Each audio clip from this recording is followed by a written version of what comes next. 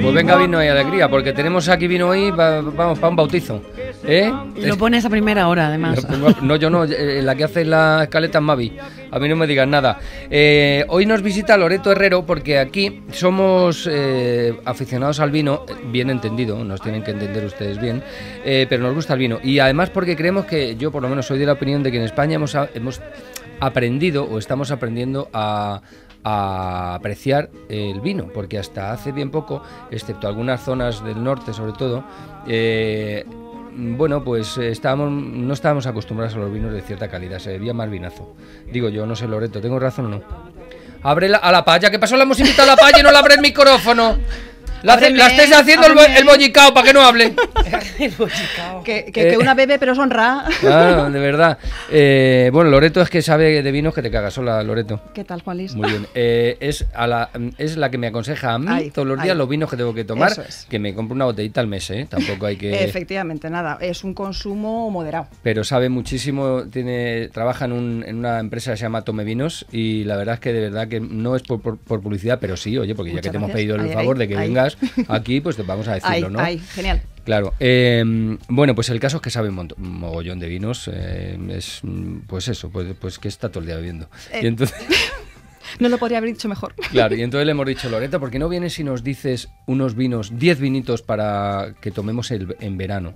Porque no es lo mismo tomar vino en invierno en verano, mm, porque básicamente hace más caloret en, verano. ¿no? Aprieta bastante. Y bueno, y este, año más que nunca.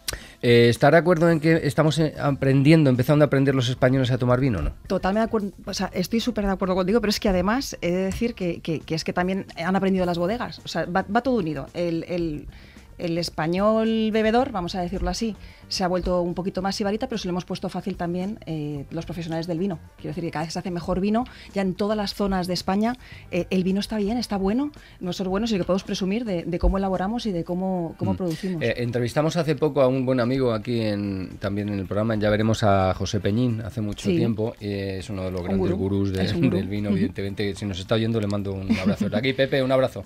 A lo mejor se llama Carmen también. y, y entonces él nos decía que evidentemente pues sí que se hace mejor vino en España, que, pero que todavía estamos a años luz de países como Francia. Años luz en cuanto a consumo por persona nos dan 14 vueltas y, bueno, lo que pasa es que pues eh, todos intentamos poner nuestra amiguita de arena y yo lo que hago es, por lo menos desde nuestras tiendas, intentar que a la gente le pique el gusanillo del vino. Y es que de verdad, eh, yo que soy, de verdad siempre he sido aficionado a tomar vino, eh, más que cervecero, aunque el cervecero también, porque es que me pega todo. Pero sí que es verdad que, que siempre he comido con vino en mi casa era tradición y comer con vino y, creo que hay muchos mejores vinos que antes. Entonces, yo te he dicho, recomiéndanos 10 vinos que no pasen ninguno de 10 pavos para consumir en verano.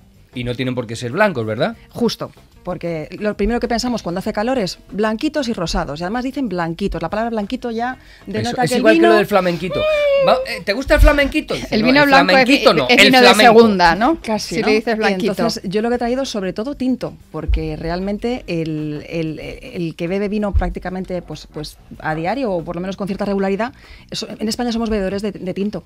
El vino blanco es el más vendido a nivel mundial, pero realmente España es un, es un país productor de, tinto. Loreto, perdona, es que como estaba hablando del vino tinto, yo bebo, a mí me gusta más el vino tinto mejor. que cualquier... Bueno, de, hecho, Sara viene muchos días, Peripi. y pienso irme hoy, ya que te he ido tanto día, no te imaginas, a cuatro patas puedes ser el estudio. Vamos a catar, catar.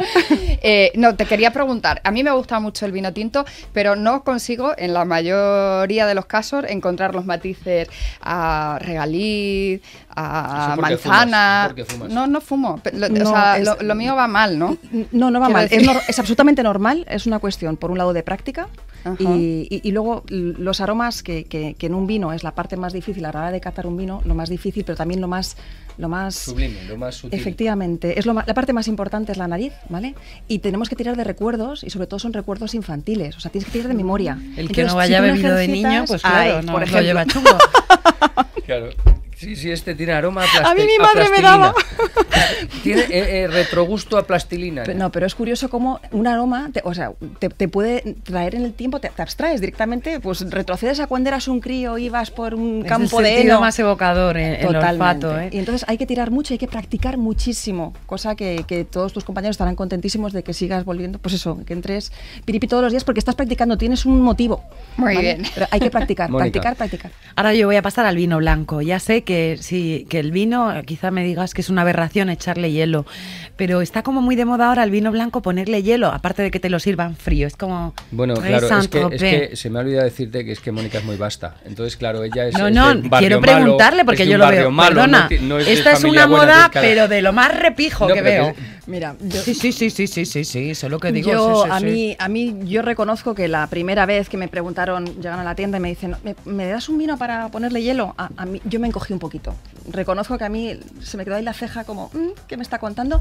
En el fondo a mí me da igual cómo se quiera beber cada uno el vino. Mientras beban vino y disfruten de esa, de esa copa, que hagan lo que quieran con ella. que Pero lo que sería del tinto de verano si no fuese el porque tinto de verano, la gente por ejemplo, me parece, la vamos, yo soy una grandísima defensora del tinto de verano. Ahora bien, Yo el también. tinto de base tiene que ser bueno, no me metas cualquier cosa. Yo, por ejemplo, defiendo mucho los vinos jóvenes de toro, por ejemplo, que tienen muchísimo color, mucha concentración, son vinos que tienen una cierta densidad. Cuando tú los mezclas y les echas hielo o les echas mm, gaseosa, pues mantienen un color precioso, un bueno, es un Y para nuestros oyentes jóvenes, el, el vino Sí, para mezclar Coca-Cola. el Para nuestros calimocho, oyentes jóvenes el- la coca. Calimocho que hagan ya lo que, que hagan ya lo que Cualquier quieran. Pero cosa, vamos, ¿no? Es verdad que tenemos una asignatura pendiente, por lo menos en España. Eh, En Francia, por ejemplo, hablamos antes de Francia. Un francés de 18 años ya entiende un poquito de vino. En España nos, nos cuesta todavía. En España Sí, empezamos aquí- más tarde. ¿eh? sí, somos más Empezamos de tarde. Es, es una asignatura pendiente. Tenemos que enganchar más a los jóvenes y enganchar mucho más a las mujeres. Yo enganchar, estoy- di- di- a los dicho- jóvenes con- con- a mayores de edad. No, y, y dicho engancharle significa a, Sí, sí, saber beber vino, saber beber a saber vino con moderación y con, con, Disfrutando. ¿cómo se- y disfrutando. Sobre todo, no, el vino no es salir a beber ¿eh? y no, no beber a morro hasta que te caes. Eso Pues es es un alimento. Eso es. Es un es alimento, no una cosa para chuzarse. Es cultura. Eso es. Vamos a hacer una cosa. Empieza recomendando ya un vino rapidito. Di cuál es. Que estamos secos. Que estamos secos. Vale, Lo estoy echando yo unos ojos y a, a esa botellita. Recomiéndalo y mientras lo servimos ponemos un disco luego Fenomenal, fantástico. Pues os voy a hablar ahora del, del Gorú. Es un vino pues nuevo en el mercado. ¿vale? Gorú, atención, Gorú. apunt- apunten todos. Gorú, Es un vino de Jumilla. y- de Jumilla, Murcia. Jumilla que antes, pues eso. No me pegue yo barrigazos en Jumilla en la mili. Jumilla, eh, Gurú. ¿Vale? Y es el, es el Gorú. Gorú es el, es el dios del amor. Es un vino que ¿Dónde? tiene. ¿En Murcia? Te lo juro. En Murcia, en Murcia, ahí, justo. Bueno, pues felicidades a Gurú por ser a Carmen Gurú.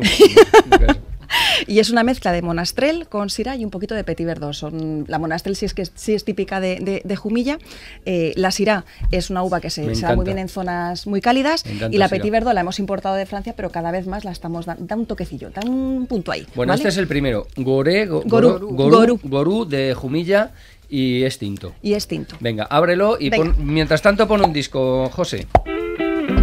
Burning. Ya sabéis, pues, pues la de Burning. La canción de Burning. ¿Qué hace una chica como tú en un sitio como- este? Pues tomar vino.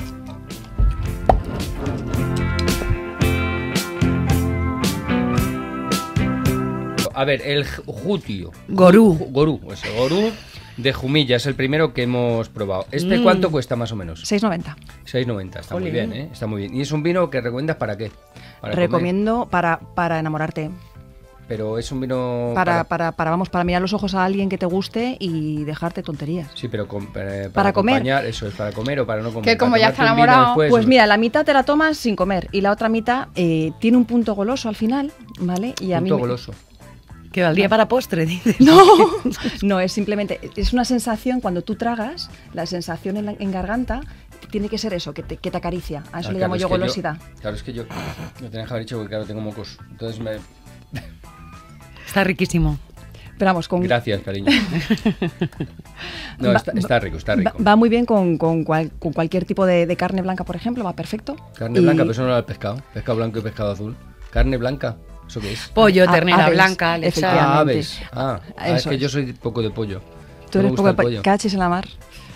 Vale, eh, vamos a. No te vayas, ¿eh? Pero te No vas... me voy. Ahí va, porque tienes ahí. Voy un montón- abriendo- voy abriendo. Eso, Tira- porque voy Tienes tienes- competencia. Tienes ahí un montón de botellas. Vamos a hacer una pausa y Loreto, tú vete abriendo el otro vino, que es un cutio ¿eh? Y tú vete pensando la pregunta porque ahora tenemos te- que la hacer. tenía pensada, ¿Eh? Bueno, pues venga, venga, venga, que os volvéis locos. Loreto, este vino que estamos tomando, el cutio, ¿qué? Esto Antes es hemos una- tomado el coto, jo- joto, jato, Carmen Gorú. el gorú, el gorú, eh, que era un este es cariñena. Esto es un cutio que. este es un no, cutio. cariñena es Es- este. Este es la, eso es, de, la, de la denominación cariñena y es una garnacha. Un ¿vale? garnacha es el, la uva, para que- los que no sepan. Es, este vino es, impresionante. ¿Cuánto cuesta? 5,40. 5,40, señores. Es que, con- es que este vino Te, merece la te pena. resuelve cualquier barbacoa, te resuelve cualquier cena informal, te resuelve cualquier mal día, de verdad. Y es un vino que es, eh, para el verano viene muy bien, pero también para el invierno. Ahora es un vino con cuerpo, ¿eh? Sí. No es un vinito. Efectivamente, por eso ahí ya le metemos algo más de algo más de contundencia a la comida, pero eh, es un vino además que abre. Cuando decimos que abre es que al, al darle vueltas es importantísimo cuando tomemos vino que la copa sea buena, por favor, y que podáis darle vueltas a la copa, porque Ujú. en cuanto se oxigena el vino salen Claro. todos los aromas. Y este cutio es eh, eh, cutio en aragonés significa para siempre y lo que hace es ¿Ah, que sí? rememora un poco los momentos para siempre. Es algo para recordar y de verdad pues, yo, pues yo todos los días, te- todos los días tengo un momento para siempre, ¿eh? porque yo cuando... No, no, es que es verdad, yo cuando acabo el programa, uno de mis de mis rituales es llegar a casa y abrirme una botella un- una botella de vino, bueno, si no la tengo abierta, y muchas muchas muchas veces es un cutio y tomarme un vinito Eso es. yo allí relajadito y, y muchas veces es con cutio porque es uno de mis vinos favoritos, la verdad, sí para el día a día. ¿eh? Ahí Luego tengo ¿ves? muchos Petrus. o sea, Sí, yo- sí, Jolín. Sí, es otro momento, es otro sí, momento. yo en Petrus, pues que, que tres, Y cuatro, Vega Sicilia, tres, cuatro botellas al- a la semana de Petrus, más o menos es lo que vengo consumiendo. Sí, sí, no me miras, sí, que es verdad. ¿Y el cutiu este, Loreto, estaría bien echarlo en un decantador o algo para que No falta, oxigene más no o con la copa sirve? Solamente con la copa es, es suficiente. Vale, ¿y cuál vamos a abrir ahora? Porque te has traído aquí por un tubo. Ahora vamos a abrir un Ribera del Duero. Un ¿vale? Ribera. Ah, se bueno, otra- una pregunta que te Dime. quería yo hacer. Eh, con la cantidad de vinos que se está haciendo en toda España, maravillosos y fantásticos, ¿por qué al 90% de los sitios que vas, de los bares y los restaurantes y tal, te dice Ribera o Rioja? Que está muy bien, porque no grandes Riberas, sino grandísimos Totalmente. Riojas. Pero ¿por qué te dicen un Ribera, un Rioja? Oiga, córreselo un poquito, que hay vinos maravillosos. También en Ribera, también en Rioja, pero joder, vamos a abrir un poquito el, el escenario, ¿no? Totalmente de acuerdo. Eh, es- es yo siempre pregunto, ¿quiere usted Ribera o Rioja o nos vamos de viaje? Y es cu- cuando me dicen que se van de viaje, me encanta, es que me emociono yo sola. Claro. Pero reconozco que tenemos un Ribera que, que- que es distinto, que está muy bien. Sí, es que es fantástico muy y- versátil, pues para, pues tienes una fiesta y quieres quedar bien y no sabes muy bien quién va a venir a tu fiesta. Ahí porque- sabes que ati- atinas. Hay veces que da miedo, hay veces que da miedo y dices, no, bueno, este público, a ver cómo, si meto un cariñena, vamos, a ver cómo lo explico. Bueno, Y- pues este es otro de los vinos que recomienda Loreto para el verano. El Cutio, Cariñena, eh, cállate. Cállate. A la orden. Eh, ¿Qué otro vino vas a abrir, Loreto? Te voy a abrir, eh, luego te voy a abrir una mencía increíble. Yo esta no sé si la conoces. Mencía. Una uva mencía del Bierzo, es típica del Bierzo, Sí. y es una uva que antes igual, es como la garnacha, estaba muy menospreciada, y de repente ha habido un boom, y de re- estamos haciendo cosas maravillosas. Ese es fuertecito, ¿no? Ese ¿Pero ese es el. Supernova, no? No, el Supernova es el que Ah. acabo de Es. Ribera de Duero. Más- eh, Este es Ribera. Es este un. Rivera, sí, sí, ese es fantástico. Ese lo- es uno de mis vinos también. Eh, siempre. Yo es que tengo como 8 o 10 marcas y, y la verdad es que... Pero yo me, me dejo... Te dejas guiar, Me sí. dejo guiar, Es sí, lo sí. ideal. Venga, pues tira este, Venga, vamos a probar el Supernova. Chicos, venid para acá el Supernova. Venga, venga, vamos. Chin, bueno, está, de verdad, o sea, es que estos están, que no vayas. Es que estos están, vamos a tener que empezar a dejarlo de Pon un Loreto. disco, pon un disco. Loreto, eh, vamos ahora a charlar un poquito con Antonio, pero antes, eh, dinos, este último vino que me ha encantado, ¿cómo se llama? Altos de San Clemente. Altos de San Clemente, otro vino recomendado para el verano, que es de... Es del Bierzo, ¿vale? Eh, es una uva mencía 100% y es una exclusiva sideral. Es la primera vez que catamos este vino con alguien. ¿Sí? ¿De verdad? Alucinante. Eres el primero. Bueno, y- y estos también. Bueno, estos también, pero bueno, mm, en fin, me vais a entender, ¿verdad? Altos del... San Clemente. Altos- Están en Cacabelos, en León. ¿Cuánto? es- Hoy Cacabelos, en Cacabelos había un vino muy rico antes. eh, Bueno, seguirán claro. haciéndolo seguro. Claro, claro. ¿Y este de cuánto hablamos? 6.50. 6.50. Bueno, pues llevamos, a ver, el Jeta este, Jero, Jedo, Jabo, Gorú. Gorú, eso, Gorú, Casi. Cutio, Cutio. que es un cariñena, el Supernova, Supernova, riquísimo. Eh, El Altos de San Clemente. Alto de San Clemente. ¿Solamente cuatro llevamos? Llevamos solo cuatro. ¡Abre pero- más! venga, ala. ¡Venga! ¡Venga, abre más! Que ahora nos vamos a correr. Eh, Loreto, ¿qué vino estamos probando ahora? Es fantástico. Juan Luis, un jauna crianza de las bodegas Aroa, es un navarro. un navarro. Jauna crianza. Se llama jauna. Jauna, dentro de bodegas Aroa se llama jauna. Es brutal este vino. Brutal. ¿Cuánto cuesta? 460. 4,60, Es- señores. es Vaya una pedazo de vino. Y es muy original. La mezcla de uvas es fabulosa. Cabernet y Merlot no estamos acostumbrados aquí en España. Y estos señores tienen. En Argentina hay muchos Cabernet Merlot. Efectivamente. Nuevo Mundo muchísimo. ¿Verdad que sí? Pero aquí en España todavía no, no hemos conseguido que madurara igual. Bueno, te- daba problemillas, pero esta gente está en el Valle del. Yerri y es una gozada. Y encima es un vino. a mi lista, ¿eh? Ah, totalmente. Vino ecológico Brutal. además. Este, vamos, no, no, ve- no ves el dolor de cabeza. Impresionante, buenísimo. Aroa, Jauna. Aroa Jauna. eh, también lo pasaremos a nuestra lis- lista y lo vamos a poner en nuestra web también, ¿eh? en las redes y también en nuestra web. Eh, tú sigue abriendo, ¿eh? Venga. Eh, tú te quedas hasta el final, Yo ¿no? me quedo hasta venga, el tú final, sigue sí, abriendo, sí. Yo veo que hay todavía aquí. Todavía, todavía podéis seguir. Claro que sí. Bueno, Loreto, muchísimas gracias. Muchísimas gracias Hay que recordar eh, los vinos que nos ha recomendado para este verano, porque no es lo mismo un vino de verano que un vino de invierno. Eh, tu tienda, vamos, tu empresa se llama Tome Vinos. Tome Vinos. Y hay que decirlo porque estamos muy agradecidos. Ahí. Y vamos a poner en nuestras redes, en arroba ya veremos M80, la lista de vinos que nos ha recomendado Loreto aquí. Y los que no ha dado tiempo también van a estar ahí en, en- en nuestra web también. Y te lo agradecemos muchísimo. Muchísimas gracias a vosotros. Y más que ya veremos, ya bebemos. ¿eh? Ya bebemos también, también. Muchísimas Venga, gracias. hasta luego, Pues, eh, te Loreto. dejo aplauso para Loreto que está aquí dos horas poniéndonos. Muchísimas gracias, compañera.